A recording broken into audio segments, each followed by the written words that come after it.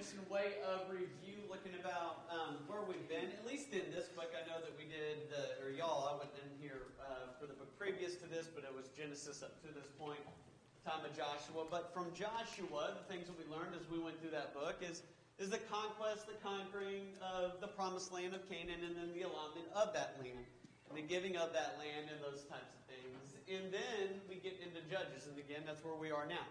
We've been through Judges 1 through 12, and really what we see over and over again is a cycle.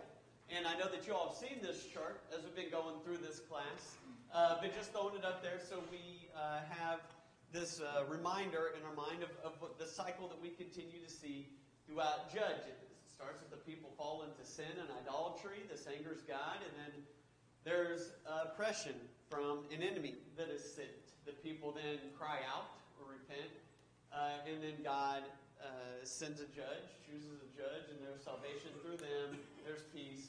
The judge dies, and then we see this cycle really start over again. And so, as they are in this land, one of the things that we recognize and realize is those that were left, uh, as we'll get into in this lesson, the Philistines, but also the others, as you've been seeing, uh, that were left and weren't completely done away with, they continue to be this thorn in the side of, of, of the people, and God uses them uh, as those to oppress them. That brings us uh, to this text, okay? 13 through 16. You get an overview of it. I just like to do this because it's what it is. We have an overview of the Old Testament, may not be able to hit on everything that's here, but this is certainly going to guide our lesson this morning. Judges 13, we're going to see an angel of the Lord that visits Manoah and his wife. You get to Judges 14, and we uh, have Samson who marries a Philistine woman, and, and, he has a riddle. We're going to look at that. We get to Judges 15. Um, Samson is, is angry, um, and we're going to see why that is. But as a result of that, he burns a grain field, and then ultimately is going to end up killing a thousand Philistines with the jawbone of a donkey. Get into Judges 16.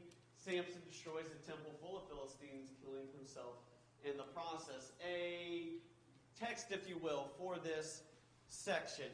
Um, you know, we're going to look at Samson. We're going to see a lot of bad and poor choices that he made throughout his life. But at the very end of his life, this is what you really conclude with. Samson saying this prayer as he's in that temple filled with uh, Philistines. And again, we'll get to this when we get to Judges 16. But Samson says this prayer Lord God, remember me, I pray. Strengthen me, I pray, just this once, O God, that I may with, uh, with one blow take vengeance on the Philistines for my two eyes. Well, we're going to see a lot of uh, poor choices that Samson makes throughout his life, bad decisions that he makes throughout his life. Whenever he's at this moment at the end of his life, this is why he's considered in Hebrews 11 as a man of faith, or he's in the hall of faith, if you will. Listed among all these other men, you look through Samson's account, you're like, how is he listed next to some of these other men with some of the really poor decisions he made? He's still a man, but this right here shows the faith he had and where he turned to in that moment. We'll get to that as we go again throughout this text. Now, uh, this is a chart, or this map, I believe, is one that you guys have, have seen as well. Uh, well, in fact, I know it is because I stole it off of Harry and Harry and PowerPoint, so I know you guys have seen it. But really, just kind of showing what we're talking about. You know, we've been going through these different judges, and uh, it's uh, a lot of times you might, well, you, you might get the, the thought process the judge judged all of Israel and went all throughout Israel and all those types of things. But really, what we see is judges in these given areas sending in uh, to relieve the oppression that is there. Dan, or uh, sorry, Samson from uh, the tribe of Dan is where we are in this lesson. And that really gets into Judges 13. Judges chapter 13, really starting off in verse 1. This goes back to the cycle. But again, what happened? What did people do? They did evil in the sight of the Lord. Because they did evil in the sight of the Lord, what happened? Okay, the oppressors were sent. Who were they in this case? No, kind of mentioned it. Mm-hmm. The Philistines, right? Philistines were sent. Okay, so that's where this starts. Again, the children of Israel did evil in the sight of the Lord, and the Lord delivered them to the hands of the Philistines for 40 years. Verse 2 now there was a certain man from Zorah of the family of the Danites, and this is, you know, really, I believe, uh, one of the questions. I'm going to try to use some of the book, but number one on fill in the blank, Samson was the son of who? Manoah. Samson was the son of Manoah and of the tribe of Dan. Okay, so the son of Noah from the tribe of Dan. And again, that's why we see in this area right here. And Dan and Zora is right there, kind of where you see Samson's name in the little line being pointed to. Now, um, so it's talking about this man, Manoah, but where does the account start, right? Is it with Manoah? I mean, I know it mentions his name, but who appears? An angel of the Lord. Who does he appear to? His wife, right? Interesting. So the angel of the Lord appears to his wife, and what does the angel of the Lord say? I got it up here on the board. All right, she's going to give birth. What do we know about his wife? She was barren, right? She was barren. So this angel of the Lord appears. Indeed, now you are barren and have borne no children, but you, you shall conceive and bear a son. Now, therefore, please be careful not to drink wine or similar drink, and not to eat anything unclean. For behold, you shall conceive and bear a son, and no razor shall come upon his head.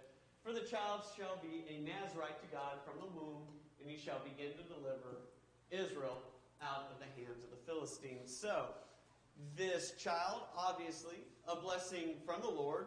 His wife was one that was barren.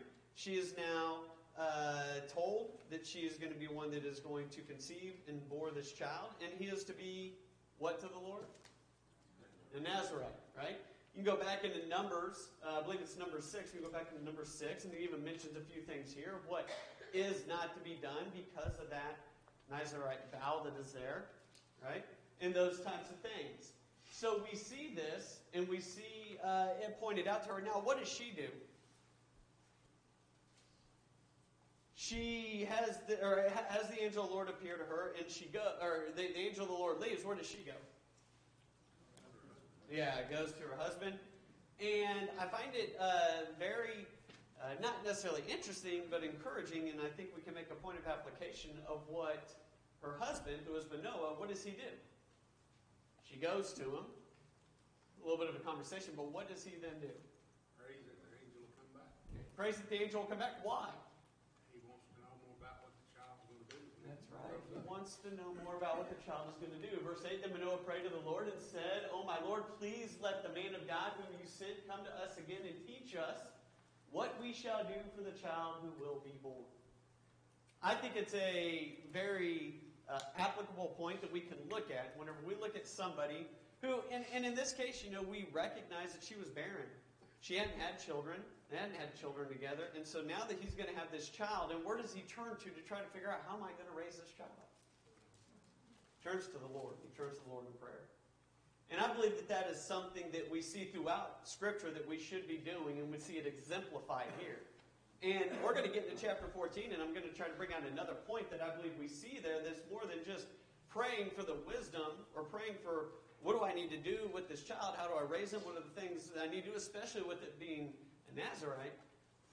But not only that, making the application and trying to help um, uh, Samson in, in his raising and in his choices and decision making. And so I think it's, it's, a, it's a point of application that we need to look at. Manoah and or Manoah and his wife, but particularly Manoah with this prayer, shows us the seriousness that we're to take with our children as young parents, praying to God for wisdom and how to raise this child to do the will of the Lord, to be a servant of the Lord. And it's, it's something that we see here, and I think something that we can take and make application of. And not only can we make application of the fact that Manoah is a good example of what to do,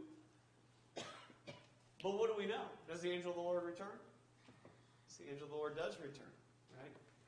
And we know that God listens to, He cares for us, He hears our prayers. Or, sorry, God does. And so we see the angel of the Lord returning. Now, the angel of the Lord returns, and whenever the angel of the Lord returns, um, what does, and man, I was actually going to try to use some of these questions, but I'm just blazing through it. So the angel of the Lord returns. Um, what are, first of all, does uh, it, does the angel of the Lord return to Manoah? No, it goes to his wife again. His wife goes and gets Manoah, and Manoah comes. What are some of the things that Manoah asked?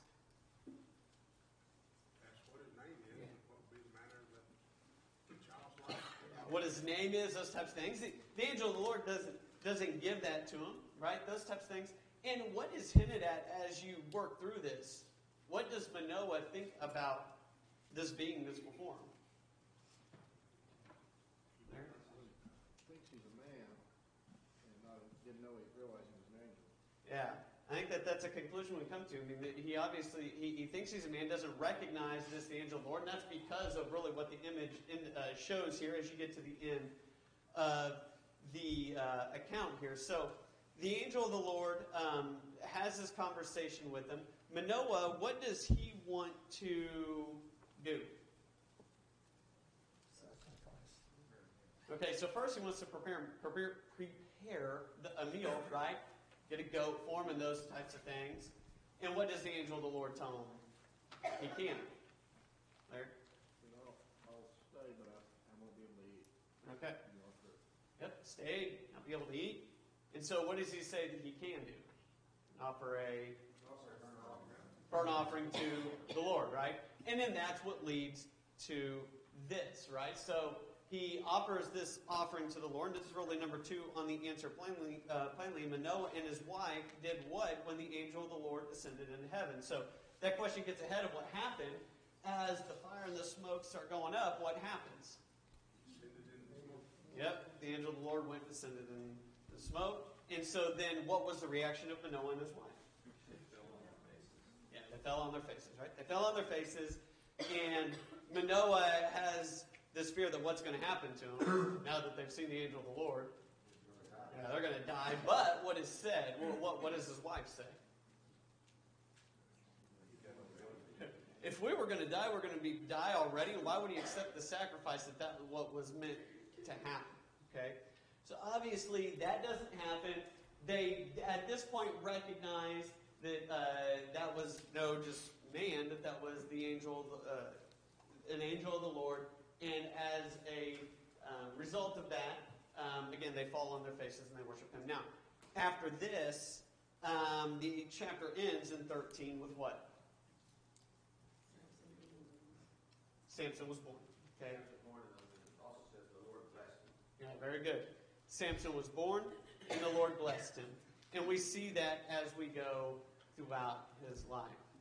Um, so in chapter 13, really what, what we get as we work through it is the um, angel Lord visiting Manoah and his wife and telling them that Samson's going to be born. Uh, there is this Nazarite vow that is told to them that, that, that or, you know, that she and the child are going to need to adhere to. And as we go throughout, we're going to see a little bit more of it. Um, does anybody got anything else on this chapter? Jason? It's obvious that Samson had good parents. He, he came from a, a background of people who sincerely and genuinely respected God and wanted to do, it appears, over and above all things, what was right to the Lord. That's right. Samson, I mean, from all that we can tell, appears to have good parents, right? Uh, once Manoah finds out, he prays to the Lord. He offers the sacrifice to the Lord. Um, and all those types of things. And I think that we see that continued as we get into Judges chapter 14. Okay? And I'll, I'll show that here in a minute what I mean. Now we get into Judges 14. Samson's born. Uh, he's obviously one that's growing. Uh, he's been blessed by God. We get here, and what do we recognize from the start? Where does Samson go to get a wife, if you will? Okay, so he goes to Timnah, right?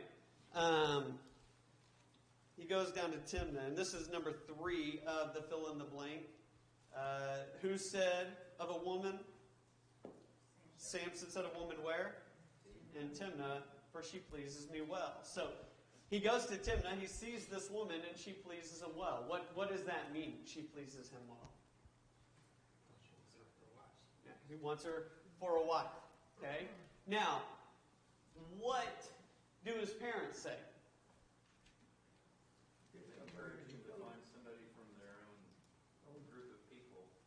That's right. They're trying to get him to. He's like, they're like, whoa, whoa, whoa, and I, I believe uh, Vernon said it, she's a Philistine woman, right? Why would you go get a Philistine woman and not take a wife from our people? I believe that this again points to the parents that he had, right? They're just, he's older, he's grown, he can make his own choices, and I believe that that is a very big point of this section of Scripture the fact that man has free will and the ability to make his own choices. But do his parents just let that happen without saying something? It was God's will that it went this way, to, to, uh, help destroy the Philistines in the end. And so that's one of the things that we recognize through this. And one of the things that I want to point out about this so his parents are saying, well, why would you go get a Philistine woman? I mean, that's going to cause a lot of problems. One of the questions that I want to pose to y'all is this It was God's will that the Philistines would be destroyed. But did that mean that God made Samson choose a wife from the Philistine, uh, from the Philistines? Verse four. Verse four reads, His mother, father mother did not know that it was of the Lord, that he was seeking an occasion to move against the Philistines. Right? So, what is that then? How does free will work into that? God used the occasion that was present. That's exactly right. Did God make Samson choose a wife from a, or a, a foreign wife? Who told the children of Israel not to take foreign women as wives? God. So would God then make Samson do something that was sinful? I believe it goes back to what Clayton said. God used it as an occasion. Who made that choice? Who chose her because it pleased him? What did God use it as? An occasion or an opportunity. In other words, what I'm trying to point out is we need to be very careful whenever we make statements and whenever we look at Scripture and say that God made this happen. God used it to carry out His will.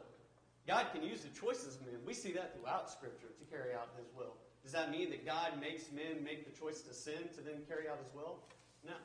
He, he uses the choices of men to carry out His will. He used this choice here. Was it a wise choice?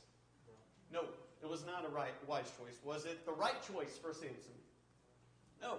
But what could God do? Use it as an occasion. Steve? God knew what, how he would choose, just as he knew Pharaoh, he hardened his heart by giving him an option that he knew he wasn't going to agree with. So That's that's, right. why he hardened his heart. He didn't force anything. That's right. But God does know That's right. our hearts, and he knows how we will choose. That's right. God knows our hearts. God knows how we will choose, right? Does God have the ability to see in the future? I believe Scripture clearly points that out. Does that mean that God makes our choices for us? No, man makes the choices. But God can use it as an occasion. Okay? I want to point that out because that can be tricky and it can trip up people, right? Whenever you come to free will you're like, wait a minute, it looks like that God made this happen. God has, man has free will. God lets man make choices. And God certainly isn't going to make Samson make a choice that would lead him to sin. Samson has the ability to make his own choices.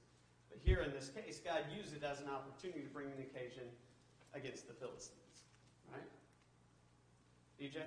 God's also a just God, and you see that Samson doesn't avoid consequences from that action either. Now, there are consequences later on with that relationship, even. That's right. It's one of the things that we see throughout Samson's life, and, and one of the points I think we can take from it. You know, he makes this decision and choice, and God can use it to carry out his will against the Philistines, right?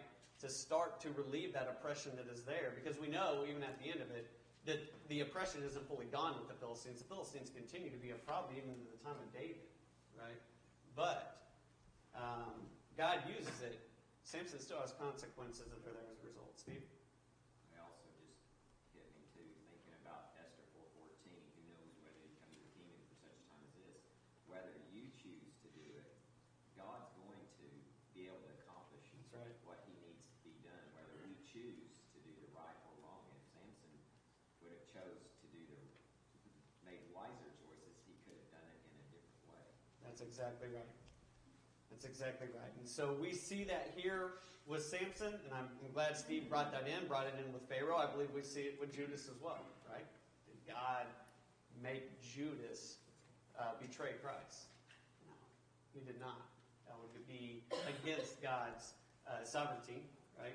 and the ability for man to make the choices. But he used that as an opportunity to bring about his will, the death of Christ. Anybody else got anything on that before we can continue to move on through Judges 14? Yeah, it's an example to uh, see how important choosing the right mate is, whether it's the right wife or husband. But take your time, choose the right one. Don't jump into anything, and how much easier your life can be when you do. Yeah, that's right. You know, and we see that throughout Samson's life. We're going to see it again. In 15, some of these choices he makes and the lack of self-control that he has. And uh, that's, that, that, that's a very good point um, that we need to consider as we look at Samson throughout his life. Jason, did you have your hand up? No. Okay. Probably, it's probably to listen to your parents a little bit too. Right. He had the opportunity, his parents warned him, and I think we all probably have been in that situation, especially as teenagers and adolescents, that, hey, but you don't need to do that, you go do it, and you suffer the consequences, and God allowed him to suffer the consequences too. That's right. That's right. You know, it, and I mean, again, as has been said, I mean, it, everything that we read from Scripture in ways what we've been getting, while it's not a ton, as parents seem to be those who are spiritually minded and trying to give good, scriptural, wise advice in this situation. And he essentially says, I really don't care. She pleases me. Go get her. Okay? So, um, they then, um, and so I brought this uh, chart up just because this is very um, scoped in to the land of Canaan, really right here into Dan and a little bit of Judah and stuff. Uh, but um, Zora's right there, Timnah's right there, just kind of giving us a point. So they go down to Timnah, or they're on their way to Timnah, and uh, what do they run into? What comes her? Very right, a lion. What does he do with the lion? He, uh, he tears it apart. Is this just, you know, from what Scripture gives us, that just a simple killing the lion, right? Just beating up the lion, strangling it, or something? I mean, rips it apart, right? Uh, how does it put it? As one would rip apart a young goat, I believe it is, right? And so we see that the strength he is given and he's blessed with from God, okay? And we're going to see this as we continue on. Now he does that. He throws the carcass in the ditch, and that's kind of getting ahead a little bit. Uh, get, get, get a little bit further into chapter 14. Um, normally happened in this time, uh, you would have uh, this kind of uh, wedding celebration, if you will, or th- th- this type of thing going on. What does Samson say about, well, I guess we need to back up with the lion. Forgot about that. With the lion, as he returns, he goes back by it. What's in it? Bees and honey. And he goes in the carcass, he gets the honey, takes it back, gives it to his uh, mom and dad. Now, we then get to the wedding feast. He has this riddle, right? Uh, Harry? in Judges 14, it's important to remember when he kills the lion, that means he's touched a dead body, which was not only against Nazarite vow, it was against uh, the law. You had to then separate and That's right. do uh, some cleansing that was there. And when he took the honey from the lion, that's really something where you had a problem both by the Nazarite vow and by the law itself. Not only did he uh, cause himself to be uh, defiled, Right. he caused his parents to be defiled and all others that were there with him. Uh, that's a good point. I'm glad you brought that out uh, and, and, and brought, brought that up. We continue to see the choices that Samson's making along the way here going against God's word and God's laws, certainly against the Nazarite vow, but it's more so than just that. Uh, it's something that if the children of Israel were to do that, there was a period of time that was to be set uh, aside um, as a result of that. So, um, we see that with Samson. Now we get to the wedding, uh, or to the to, to the celebration, if you will. He has this um, riddle, right? He gives this riddle, and what does um, he do with that? Um, to to the thirty uh, men, their companions that were there. He gives them the riddle, and what does he say? If they can get it, then he'll give them thirty garments, linen, and he stops it. If they can't, he, he gets the linen garments from, from them. Yeah, very good, very good. So uh, basically within this period of time, which is how many days? Seven days, right? Within seven days, if you get it, um, then I will give you 30 uh, garments and 30 pieces of linen. If not, you owe it to me, right? What happens? Do they get it? They don't know it. So then what do they do? Jason? kind of see the wisdom of, of not having them intermarry because it looks like their allegiance is with their people because they did threaten her that they would burn her with fire, but they, uh, they wanted her to entice and her husband to give up the secret or give the, the answer to the riddle of. That's right. You see this here with um, with this Philistine uh, wife. You see it whenever we get to Delilah as well, right? Kind of those influences that you're around and the choices uh, and the path that you end up going down, the decisions or choices that you make. So, um, and, and, and the influences there. And so, um, you know, they they certainly use this. They go to her. They threaten her with not only burning her, but I believe her family as well. Uh, and then she eventually gets it out of him, right? Again, it goes back to influences. You get around those influences, and they're leaning on you and leaning on you, and you're trying to say, no, no, no, you're not going to give it. He's not going to give her this riddle in this case.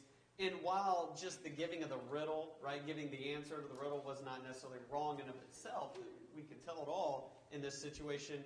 No doubt how that was used against him marrying a Philistine woman. And she gets that out of him. She goes and she tells um, the men, and what do they do? They tell him. And then what does Samson say?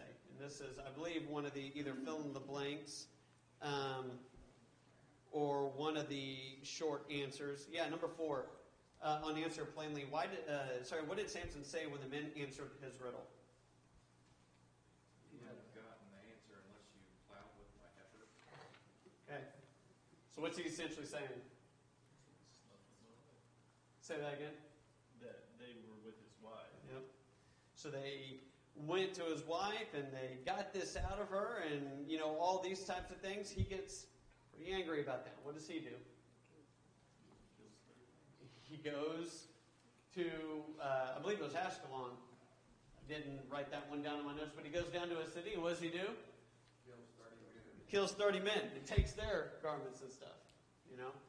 Gets frustrated, gets angry, and goes down, kills 30 men to take their garments and then take back and give to them. Um, again, we see the path of you make the choice to marry a Philistine woman and what that leads to, right? The choices it leads to, the frustration that it leads to. In other words, you go against God's law, you go against God's word, you act in a way that is not according to God's word. Does it just stop with that one bad decision? What does it usually seem to do? Clearly, in this case, leads to another, which leads to more frustration, which leads to other things. Now, we know, again, God's using all this as an opportunity to carry it out against the Philistines, but He could have used it in any way, or He, he, he could have found uh, whatever way possible to be able to do this if Samson would have made the right choices. Samson continues to go down this path. Not only does he um, find himself here killing this lion and then going against God's word and law there, then he's using it in this riddle, and all these types of things are starting to show the choices that Samson is making. Samson kills those 30. He throws, he gives them the clothes, and then he goes away, and then you get to chapter 15, and he comes back, right? What's he trying to do whenever he comes back? Who's he looking for? Yeah, he wants his wife, right? What does her father say? Huh? Oops. what, what, what had he done? I thought that you hated her. You left. I thought that you hated her, so I gave her to your companions.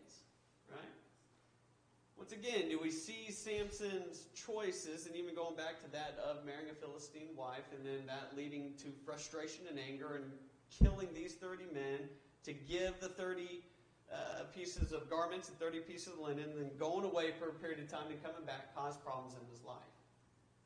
I think one of the things that you see throughout Samson is that old adage about sin, right? What does sin do?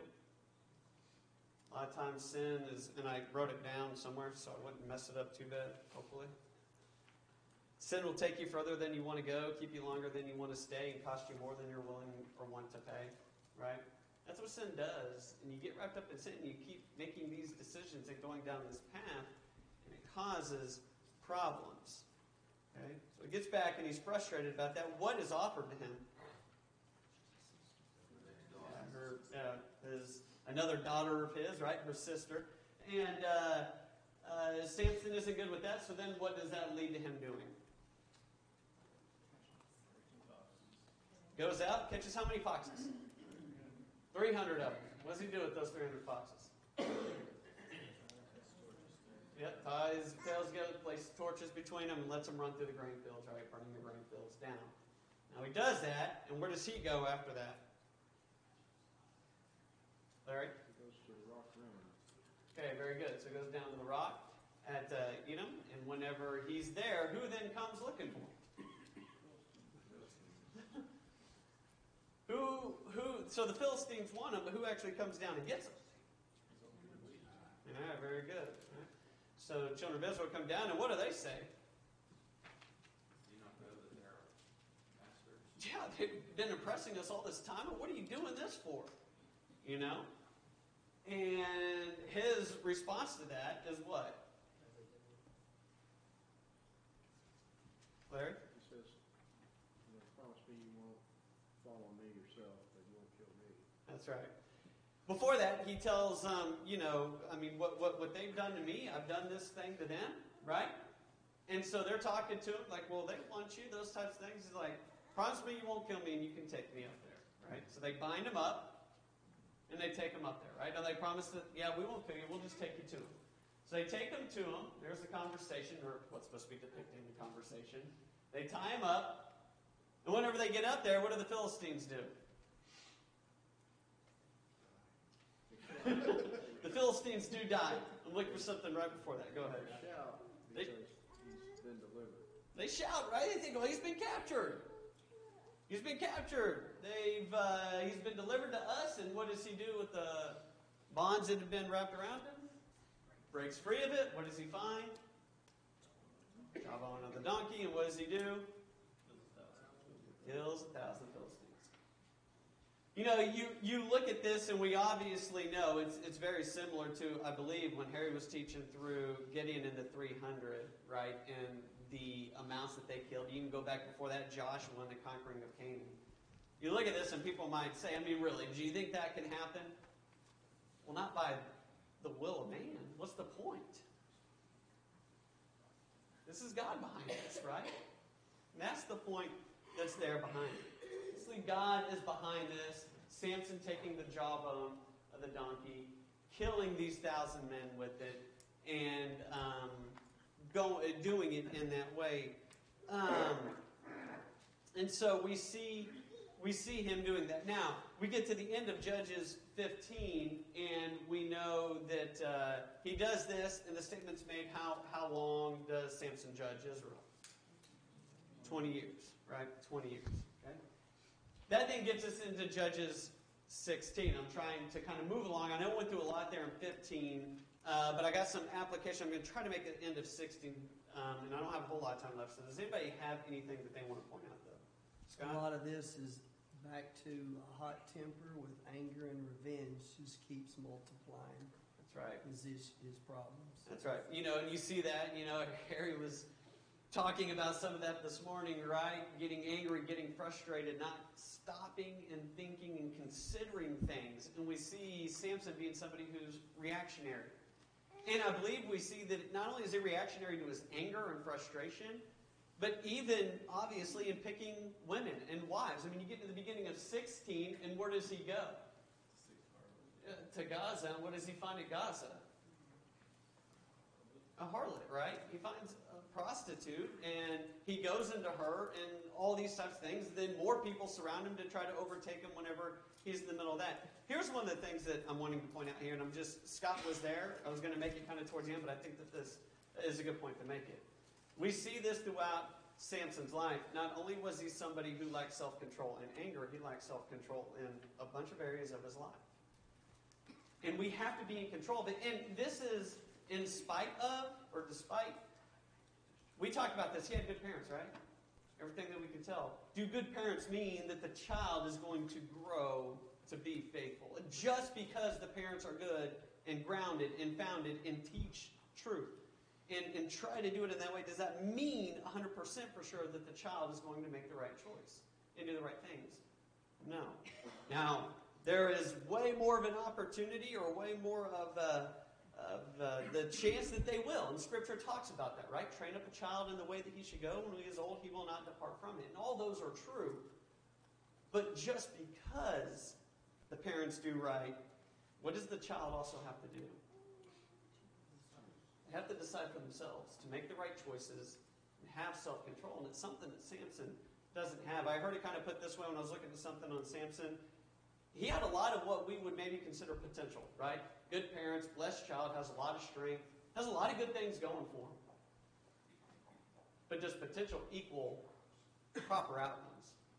No, potential is nothing if you don't take and make application of God's word, in particular in the area of self control. And I think that that's something that we see here with Samson.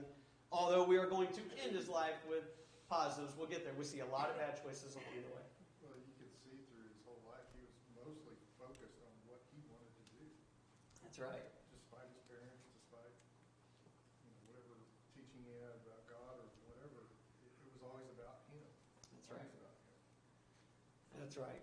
There's a lot of uh, what he wants to do, what he wants to go out and get, whether it's from his wife to you know how he feels like he should be treated, getting angry, frustrated, all those types of things. All right, so I got five minutes. I know I saw hands going up in the corner of my eye, but I'm gonna sorry ignore them for now. Judges 16. Okay, this is the one. You know, we're gonna spend the least amount of time on this one. This is one that probably most people are familiar with, right? Starts off there with the harlot down in Gaza, but then we get to Delilah. Where's Delilah from? Does he?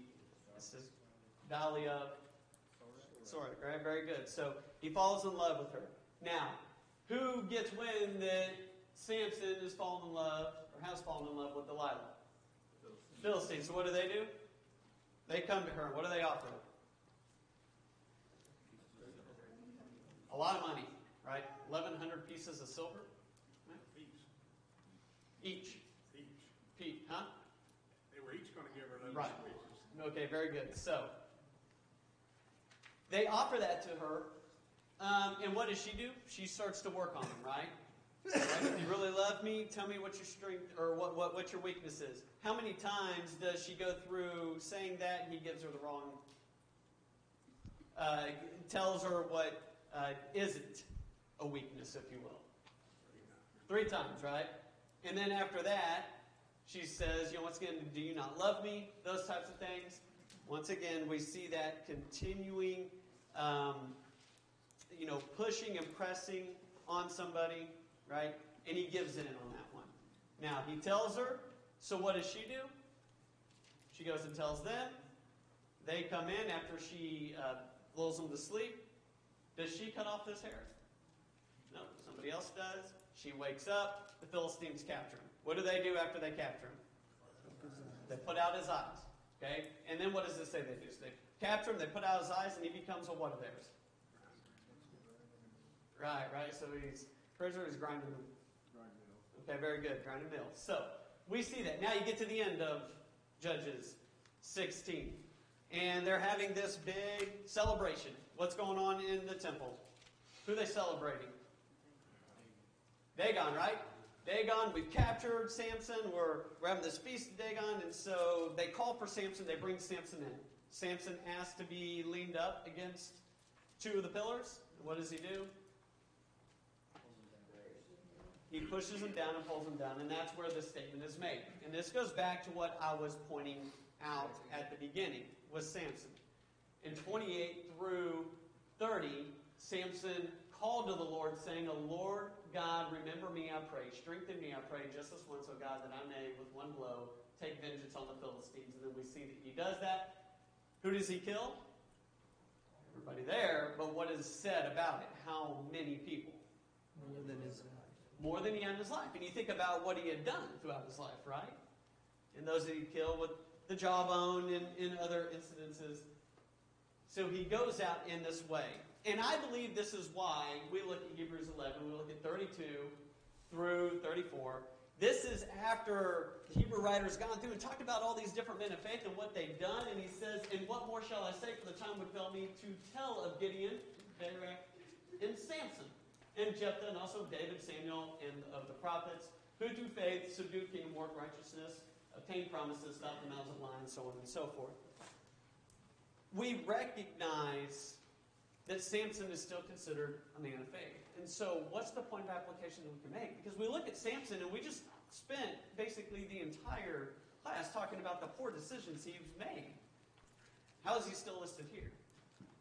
He repented and saw his weakness and knew that without turning that over to God, requesting that strength from God, he didn't have it.